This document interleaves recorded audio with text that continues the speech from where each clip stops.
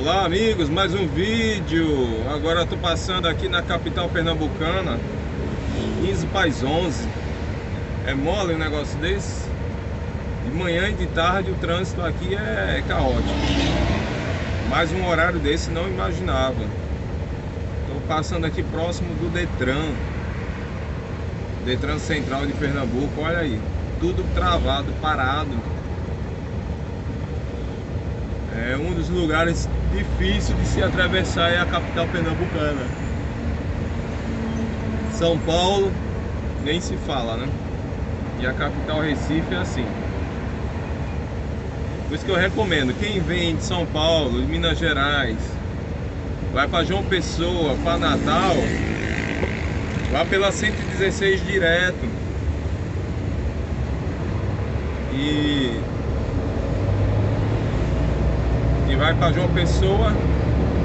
Aí em Tucano entra para Ribeiro do Pombal, Paulo Afonso, Paulo Afonso, Garanhuns, Caruaru, Campina Grande, aí desce para João Pessoa, Natal. Ou Natal mesmo, vai direto pela 116. Entra no Ceará mais um pouquinho, entrou na Paraíba, Cajazeiras, atravessa Cajazeiras, vai até Pombal, Pombal, pega para Caicó, Serra Negra, aí tá em Natal.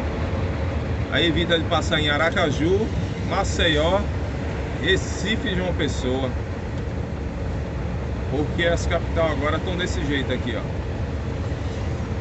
Muito complicado, muito complicado mesmo, viu? Vamos ver, né? Até que hora que eu vou conseguir atravessar ali o trecho aí de uns 15, 20 km. 10 para as 11. Agora em cima do viaduto da Caxangá.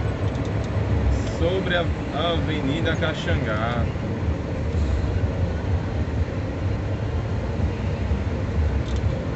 Devagar, devagar, devagarinho.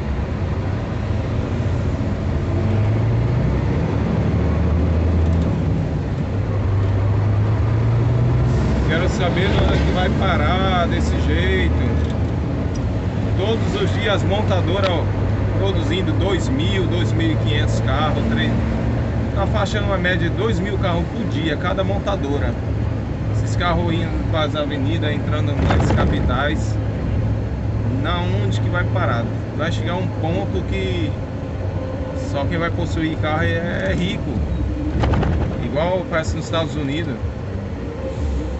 Estados Unidos para andar ali em Nova York, dentro da capital lá, é uma taxa muito alta, um absurdo. Quer dizer, só pode quem tem muito dinheiro, milionário. Como o governo gosta de trabalhar em benefício do povo, ele vai fazer isso. Cobrar taxa cara. Quem puder, quem tiver dinheiro para pagar, roda. Quem não tiver, não vai entrar, não vai rodar não situação aí, ó. Todos os dias, sem falar os caminhões, as motos. Aí é assim, ó, não nós vamos parar. Se viesse perguntar pra mim, alguém viesse me entrevistar, perguntar, tá difícil de tá, mas era de se esperar. Não vai chegar tanto carro. Agora no final do ano sempre se fala, né? Ó, esse ano bateu recorde e tal, a produção de carro, sempre fala, sei quantos milhões de carros Esses dias aí na pandemia, mostrou uma fábrica de moto em Manaus estava parada a produção de só ela, duas mil e poucas motos por dia.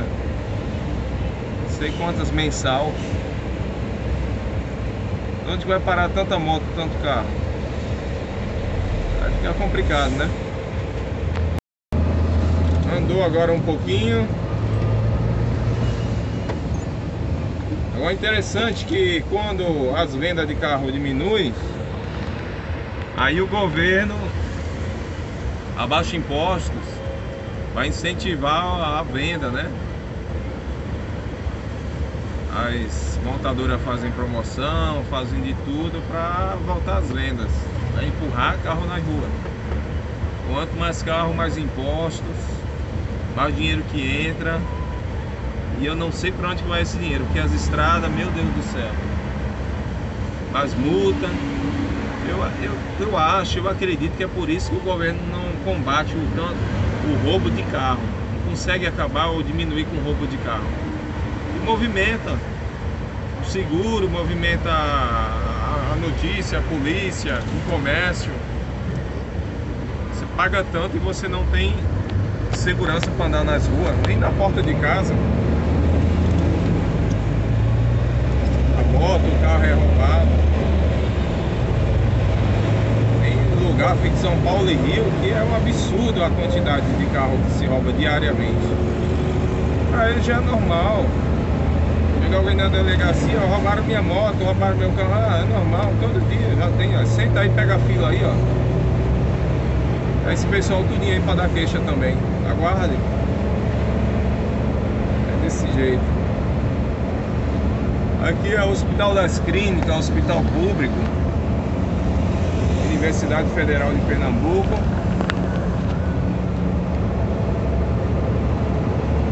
Hospital das Clínicas. Vem gente do interior, do todo canto para se tratar nesse hospital. Diz que agora está melhorando um pouco. Agora está melhorando um pouquinho mais.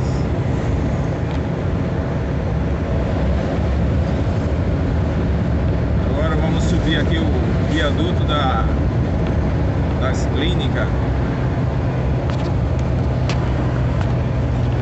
Da UFPE.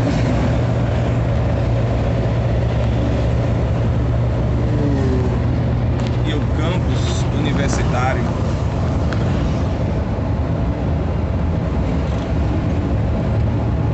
Graças a Deus o negócio agora tá andando. Vamos ver lá pra frente. Ponto crítico é esse aqui, ó. Se divide para Avenida Avenida Recife, vai dar no aeroporto. 232 Caruaru. Seguindo em frente, Litoral, Praia, Maceió.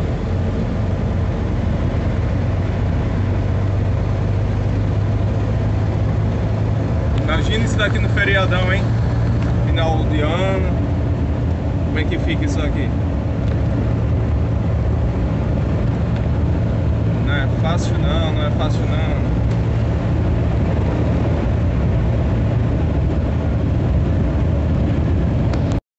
Aqui é o Ceasa do Recife e o comecinho da 232 que vai até o Sertão, divisa com Marcolândia no Piauí. São 720 quilômetros para lá. BR 232 Vai terminar, começa aqui no Ceasa.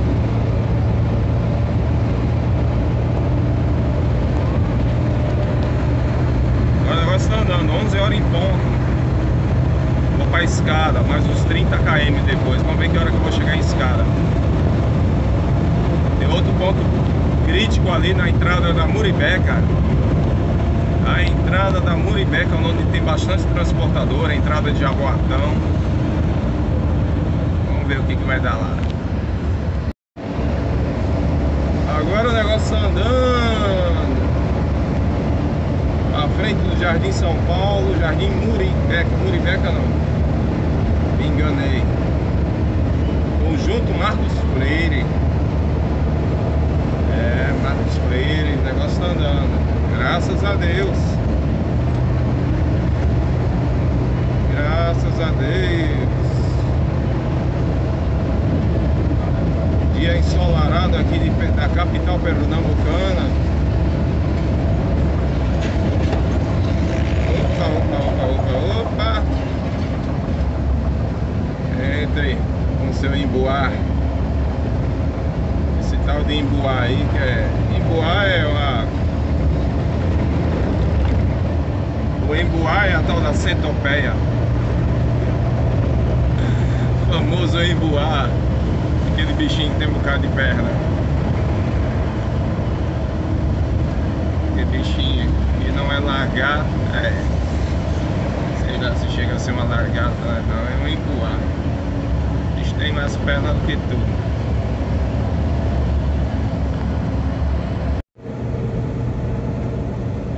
Chegando agora na entrada de Moribeca. Isso aqui no começo da manhã e depois das 4 horas da tarde, meu amigo. Isso é antigo, mais antigo do que a cantiga do Galo.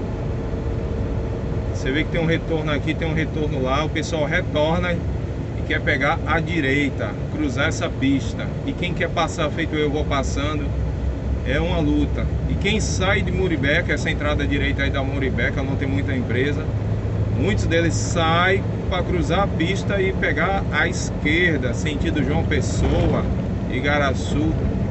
Então fica esse problema. Quem está do lado da direita quer atravessar para a esquerda, quem está da esquerda quer ir para a direita. E quem quer passar direto fica no meio, fica aí. É complicado isso daqui, viu? É complicado. Quem for passar pelo Recife, evita esse horário aí. Começo da manhã e finalzinho da tarde. Agora tá passando suave, meio 11 e meia. 11 e meia. Aqui também é outro ponto crítico. É a saída de é a saída da onde? Do, do Recife, a saída de Prazeres.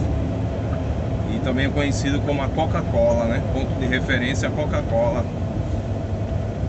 Pessoal tá saindo aqui à minha esquerda.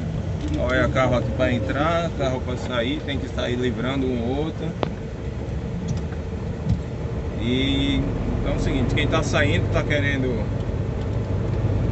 passar muito ônibus parada de ônibus vem da esquerda para pegar a direita aqui para fazer o retorno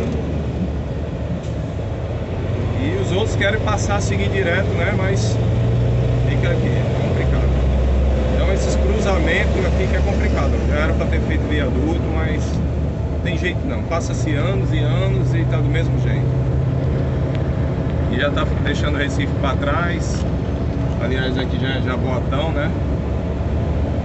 Mas é tudo colado. O aeroporto de Recife fica em Jaboatão. Então é assim. O camarada quis passar pela esquerda, se imprensou, não deu. Já foi para a direita, eu piscando. Ele não dá brecha, não dá trela não. Agora já voltou para a esquerda de novo. Tem paciência. Só Deus na causa. Não tem mão para eles não. A mão é a, a que der. Só Deus. Aqui também tem para entrar em prazeres, prazer não, cavaleiro, ponte dos cavalos, cavaleiro não, pontezinha. Acho que é pontezinha esse aqui. Esqueci o nome aí. Aí o pessoal tem que fazer esse retorno aqui também. Aí você vê, vai fazer o retorno, atravessar a BR-101 para pegar a direita. Isso é num intervalo de tempo bem, bem curto, um espaço bem curto. Aí dá um trânsito. Para quem vem aí sentido contrário, o trânsito dá longe. Só porque tem um trecho que a turma atravessa, né? Sai da esquerda, vai, vai atravessando, atravessando para pegar a direita. Aqui no ponto da Vitarela. É isso aí, pessoal. 11h40 Quando vim vencer aqui o outro lado Tá bom? Forte abraço aí do irmão caminhoneiro, tudo de bom